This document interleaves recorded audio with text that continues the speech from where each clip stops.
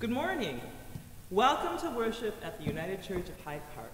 I'm Jade Maze, and we are blessed today to have with us our guest minister, the Reverend Robert Biekman.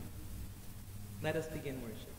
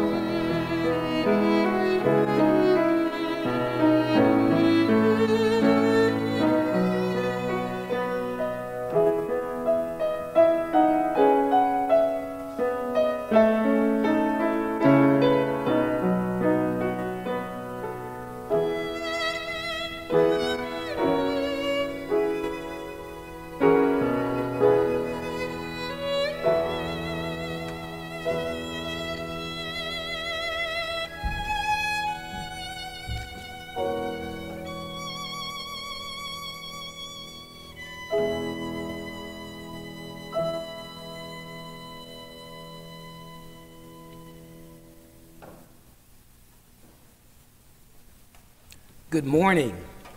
Won't you join me now in our call to worship? We come to worship our God who has done wonders in our lives. God anoints us with joy and light, gifts from the treasures of God's heart. We come to follow Jesus, who bears our lives with grace and hope. Jesus would send us into the brokenness of the world to bring healing. We come to be touched by the Spirit who brings gentleness and peace for all.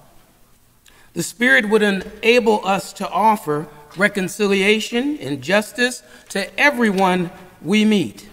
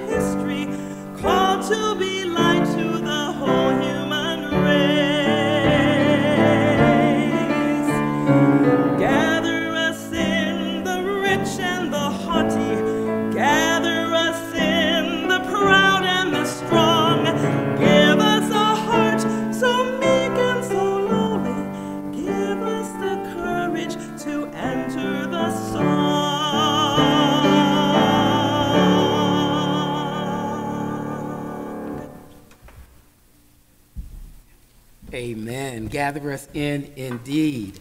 I invite your attention now to our scripture reading for today, which comes from Genesis chapter 21, verses 8 through 13. In the New International Translation of the Bible, it is paraphrased Hagar and Ishmael sent away. Hear ye the word of God.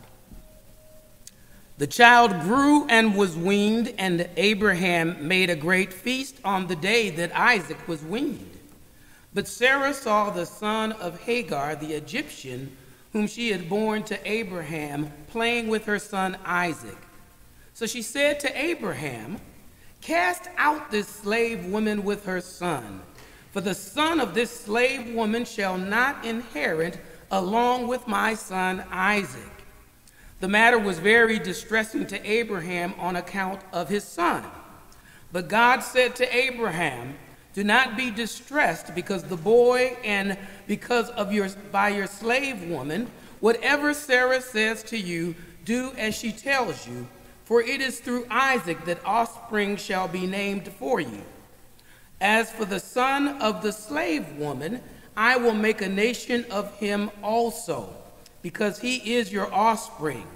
So Abraham rose early in the morning and took bread and a skin of water and gave it to Hagar, putting it on her shoulder along with the child, and sent her away. And she departed and wandered about in the wilderness of Beersheba. May God add a blessing to the reading, hearing, and adhering to his holy word. Let us pray. God, as we gather here on this summer's morning, we are grateful for so many, so many people, so many things. But most of all, God, we are grateful for your grace that continues to connect us and bind us. We are grateful this morning, God, for your love that is the mortar that connects us on this day. And God, whether we are present in this sanctuary, whether we are present at home or perhaps even in our car listening to this broadcast. God, we, we know that you are present and that you cover us. And so now, God, we ask that you would bless your word on today, that it would go forth with power, power to transform, power to do that which only you can do, power to change our circumstance, our conditions, even God, we give you permission to change our attitudes. We ask this, God, under the anointing of your Holy Spirit, and in that name which is above every other name, Jesus the Christ. And the people of God assembled here and at home and beyond say amen and amen. I must admit that sharing this sermon, this title, Good Times, has been very much a challenge for me in the midst of COVID 19. I've had to look far and wide and deep to find where are the good times. Nonetheless, we can always find good times, a good word, and good news in the Word of God. So let us get into what I call the Wayback Machine as we travel back to 1970 which we find the beginning and the genesis of this situation comedy, some people call it a sitcom, uh, called Good Times. This situation comedy or sitcom that chronicles the life of the, M, of the Evans family. You all know the Evans family. There was James the patriarch who struggled to find work and provide for the family. Seemed like James was always looking for a job. Florida, the matriarch, who cared and nurtured for her family and worked as a domestic and as a maid. Now, now we wouldn't complete the family if we didn't remember JJ, so named because he's James Jr., but he's JJ, also known as Kid Dynamite. JJ, who's the oldest son, the quick witted JJ, the comic relief JJ, the JJ who has a real gift and the ability to express himself on paper, on canvas, with pencil and color, who has a real gift from God, who's an aspiring artist.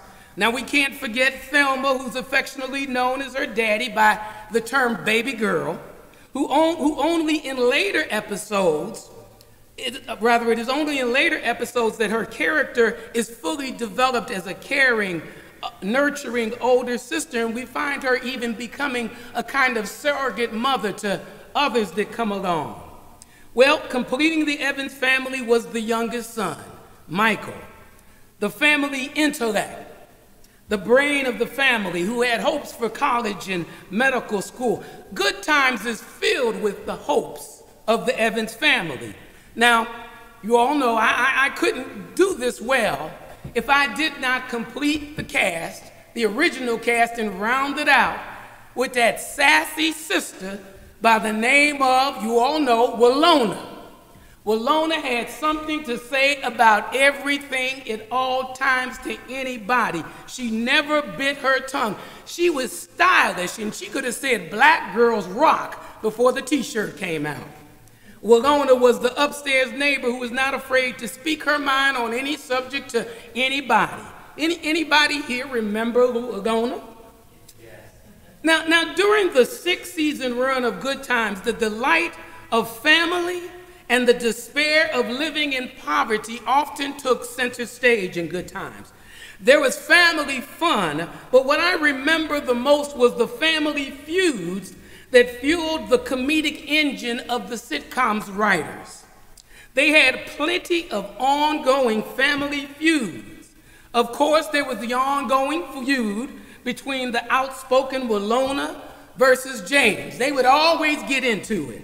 You see, James was the strong black, I'm the head of this house man. And James would always meet Willona with a quip or with some kind of reaction to anything she would say. There was also the feud, the ongoing feud between uh, JJ and everybody. Seemed like JJ kept some stuff going all the time, no matter who. I'm gonna come back to that. JJ versus Michael. JJ versus his mama, Florida. JJ versus Willona. JJ versus his dad. JJ was in trouble with everybody most of the time. But the best ongoing feud on good times that I remember and liked the most was the feud between JJ and his sister Thelma. Well, you say, well, why did they get it on like this? You see, Thelma as, Thelma, as I mentioned before, often played the role of surrogate mother. When Florida was working hard, when she was cleaning floors and doing other folks' laundry, often it was relegated to Thelma to prepare the meals and to clean the house and make everything stay in order when, when, when Florida was not present. But her lack of cooking skills were often the brunt of JJ's jokes. I, I, I often remember JJ saying things like, uh, Who's cooking tonight? And he would find out that Thelma was cooking. He would say, he would say something along the lines, Good, I, I'm glad I took the antidote before we eat. Because he was inferring that her food was like poison. But Thelma continued to go on and continued to be that surrogate mother. Her lack of cooking skills were always the brunt of JJ's comedic criticism. It's easy to see how living in poverty, keeping your head above water, scratching and surviving, and eat an easy credit ripoffs. Ain't we lucky we got them good times? There were plenty of feuds. I think we can get one or two witnesses whether here or online, that could testify that they could experience perhaps some feuds as a result of being sheltering in place. As a result of being with one another, the person who you thought they were aren't really who they are. Or either you just get tired of that person. So I would imagine that good times, in the midst of good times, the feud still may ensue in, even in your home if it's anything like my home. However, while there were feuds and conflict, at the end of most good times episode, the viewing audience could anticipate being given the last laugh. They would always leave us with some humorous anecdote or something positive to go forward with. You see, when the Evans family had nothing else to hold on to, they were able to hold on to hope. Hope in their dreams and hope in their aspirations in spite of difficult circumstances. Ultimately, through the faith of Florida, they held on to hope in God through their God fearing mama. I believe they could still laugh because they had hope.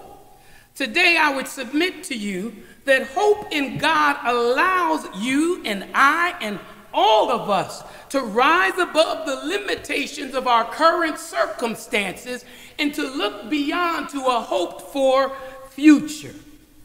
A close reading of Genesis reveals that laughter, laughter, nuances the entire story or narrative of Abraham, Sarah, and Hagar and Ishmael. You can't mention Sarah and Abraham and Isaac without mentioning Abraham, Ishmael, and Hagar. Their stories are interwoven, and there's a wonderful interplay that takes place between their lives. In Genesis 17 17, we begin to get a sense of the laughter that fills this narrative.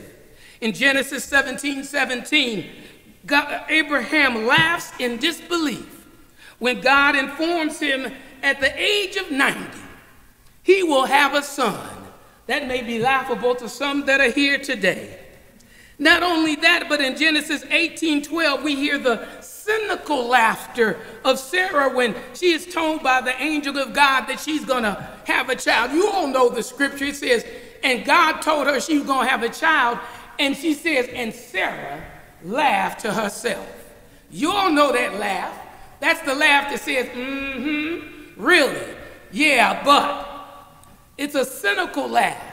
Going further into Genesis, into the 21st chapter, we hear the joyous laughter of Sarah now, after having given birth to, uh, uh to Isaac. Not only her joyous laughter, but we hear the joyous laughter of community at the birth of Isaac. But the laughter does not stop there. The story would be incomplete.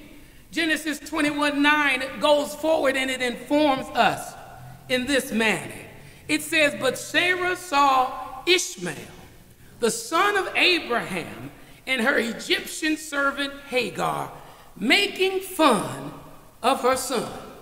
They were laughing. They were making fun of her son Isaac. So she turned to Abraham and demanded, check this out, get rid of that slave woman and her son.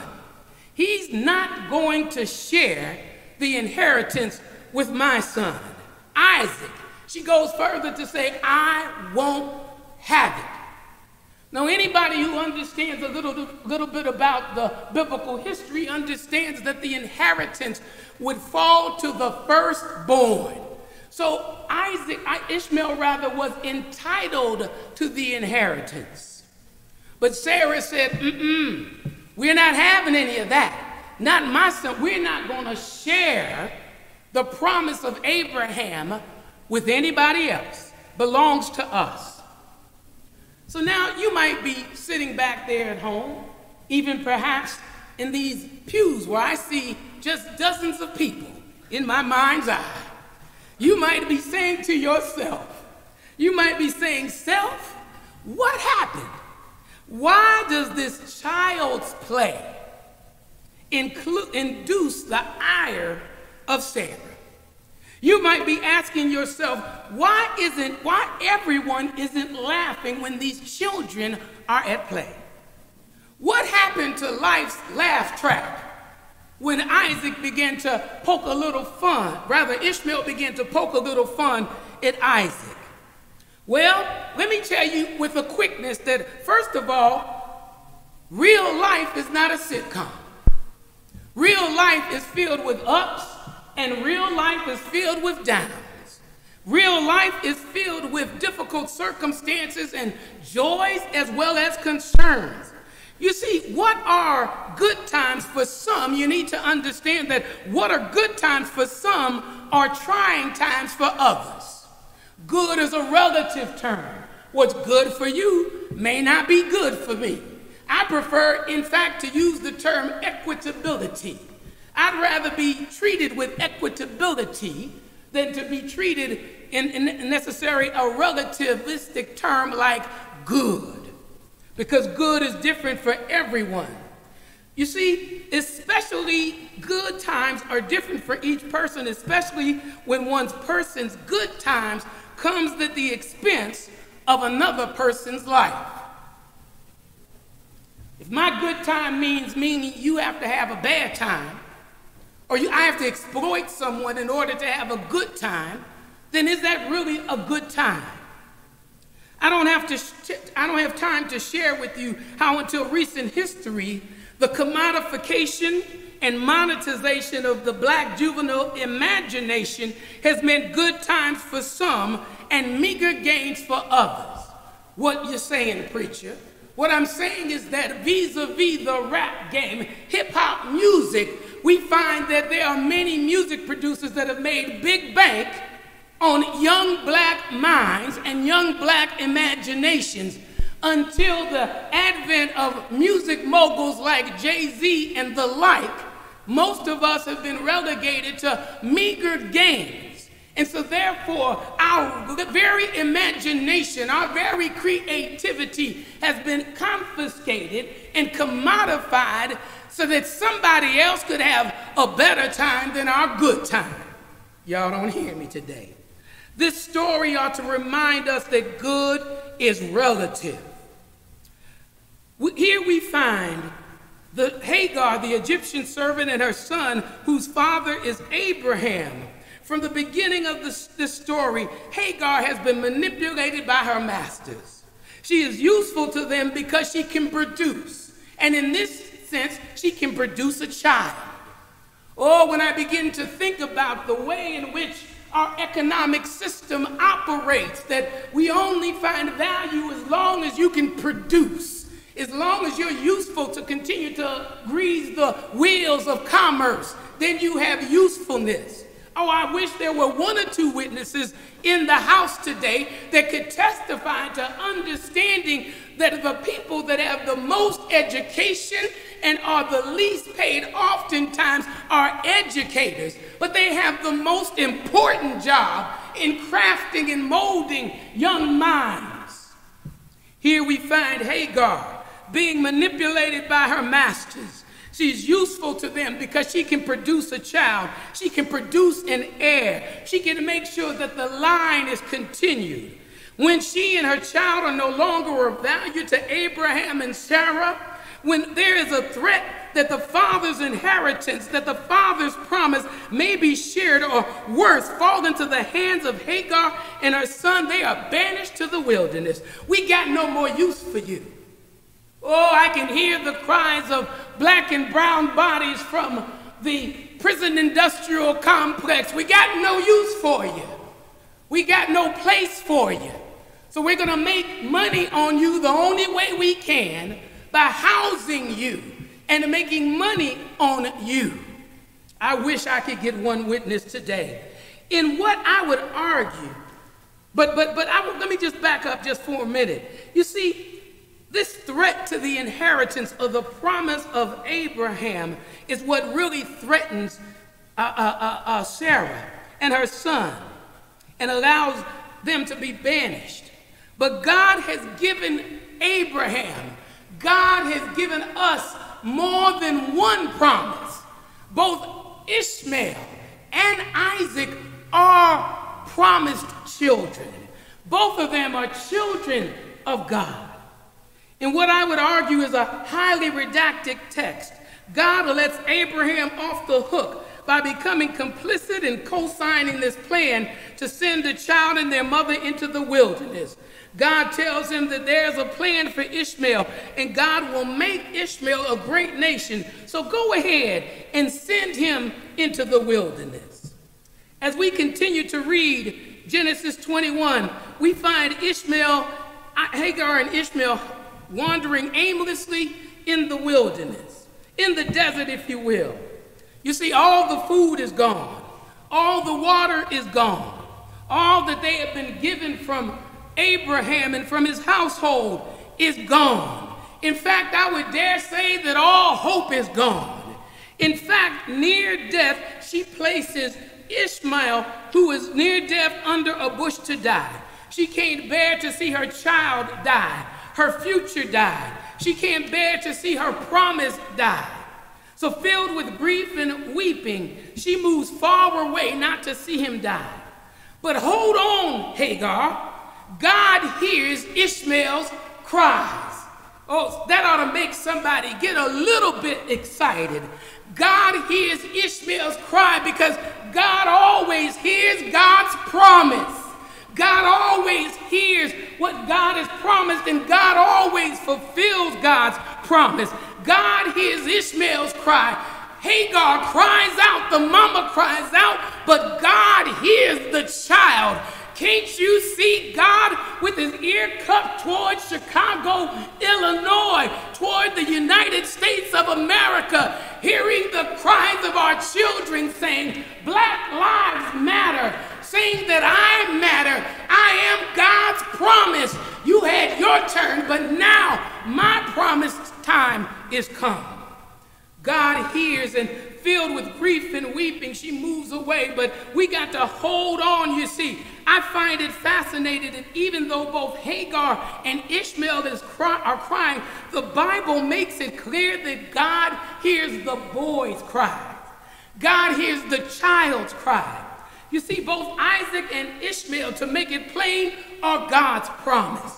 The children are the promise. Both are meant to share in God's inheritance.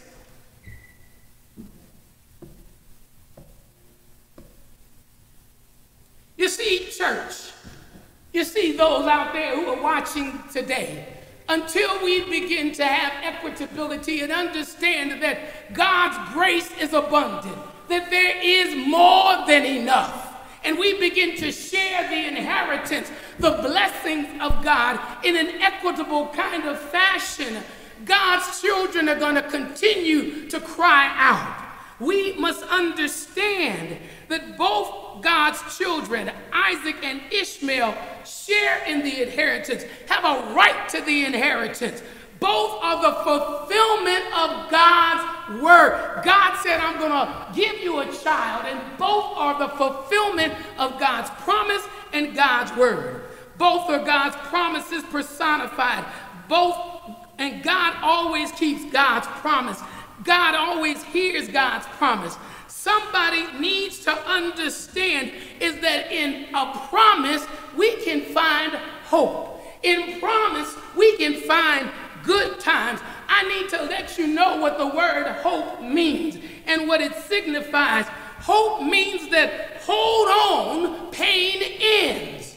Hold on to hope because hope reminds us that pain will end, that trouble don't last always. COVID 19 is going to end. This crisis we live in is going to end. Why? Because I have have hope. We each can rest in the arms of God's hope. The songwriter said, Brother Johnson, he said, What? My hope is built on nothing less than Jesus' blood and what? Righteousness. I dare not trust the sweetest frame, but only wholly lean on Jesus' name. In Christ, the solid rock I stand. Somebody ought to get excited about that. I'm going to tell you why. Because I can have faith in myself, but I need hope in something else. I need hope in something bigger than me, something better than me, something inspiring me. Hope faith is built on past performance, but hope is built on future performance. We can have hope because we have a promise. And as long as you can remember God's promise, you can have hope. Well, I know some of you are saying, well, what's God's promise? Isaiah 26, 3 said it like this I will keep you in perfect peace whose mind is stayed on him.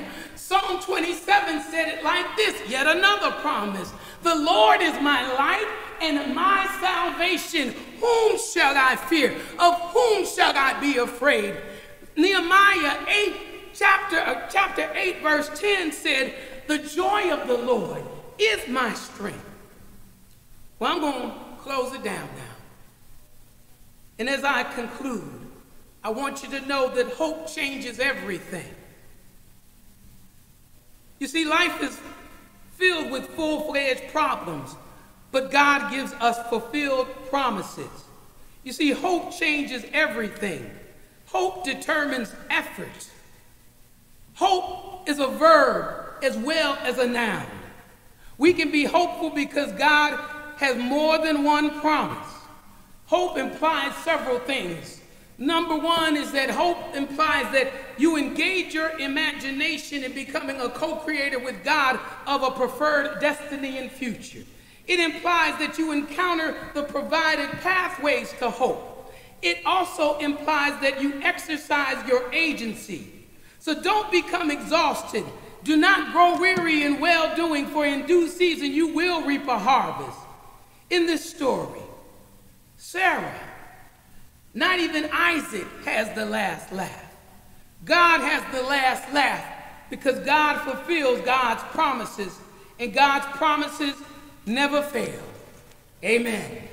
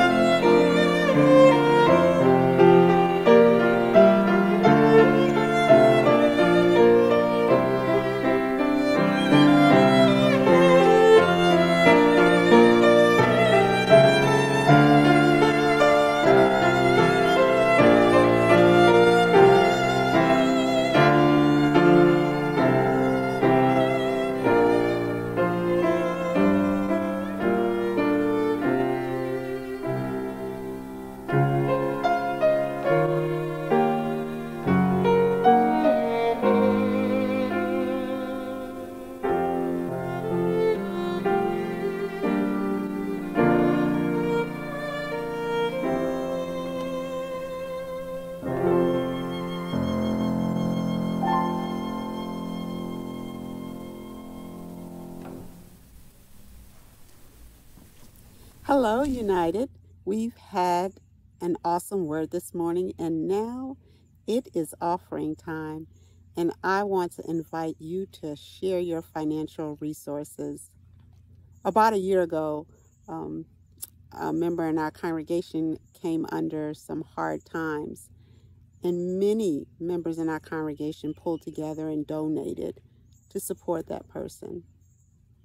United, we are a generous congregation, and oftentimes when we see a need, we just reach out and do what we need to do. Well, our congregation, our church is in need right now. And so we want you to be the generous people that you are. It is offering time. God has been good to us, and we ask that you reach into the abundance of God's goodness towards you and you give on this morning. There are three ways in which you can share your financial resources. You can stop by the office, you can mail it, or look on your screen, you can give electronically. We invite you to share your resources. We invite you to be the church. And we invite you to help continue to support and sustain United Church of Hyde Park. Thank you.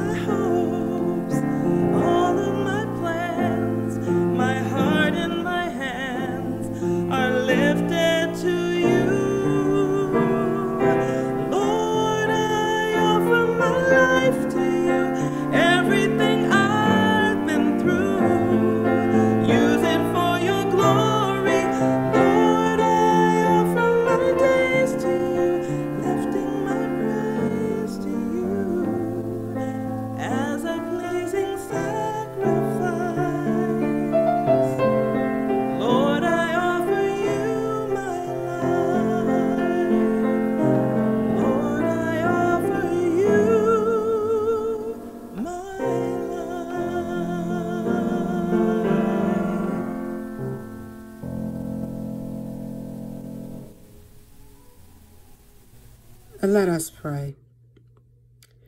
We offer our gifts to you as well as our lives, loving God, so that they might find their way to those who need your grace, your hope, your joy, and your peace in their lives. Amen.